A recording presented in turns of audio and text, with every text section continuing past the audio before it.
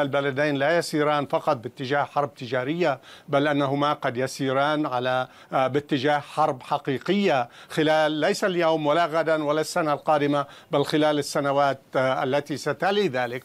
وذلك لأن هناك مصالح صراع مصالح. وهذا ما كنت أود أن أشير إليه إلى حد ما قبل أن في 1980 مثلا.